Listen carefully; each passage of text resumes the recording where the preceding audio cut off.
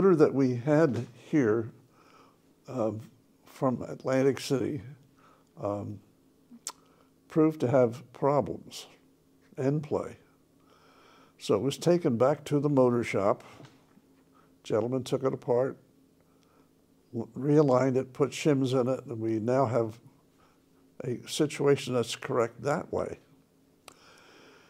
Yesterday, this was on Tuesday, May 12th or so, whatever the date, um, the motor was brought back and actually put into the blower shell. We hooked up the electricity to it, turned it on, and yes, lo and behold, no end play, but bearing problems. Now the receipts show that new bearings were put in the unit. So we ended up putting grease in, and as the day wore on, literally, one o'clock, two o'clock, three o'clock, things started to get quiet.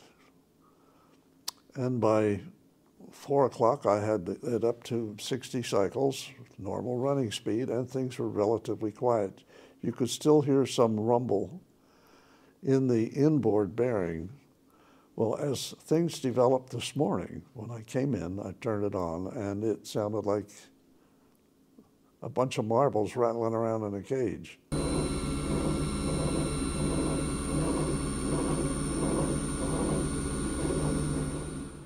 So much to my sorrow, it has to come out and go back to Atlantic City. Uh, I'm waiting for confirmation as to the hour it will happen. So once again, we're thwarted and moving ahead.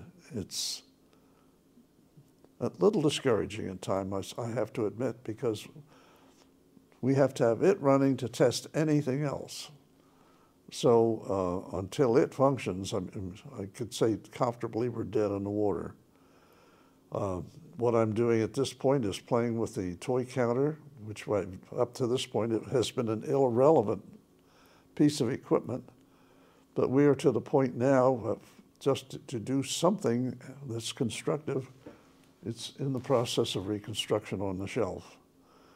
Um, before this morning out, it's ready to go. I've put wind to this particular thing through the use of a vacuum cleaner, and all six functions work. So that's where we stand at this moment. I shouldn't say stand, I should say sit because I am. But anyway, it's, uh, let's put it this way, mildly speaking, an adventure. And uh, frankly, at this point in my life, I'd be tickled to death if it played tomorrow. I am, I must admit, I'm getting tired.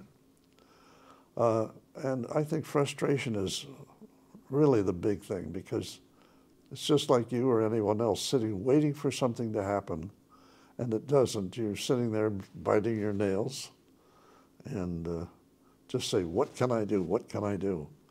And uh, I hope that the next time we chat, I have some better news. Thanks.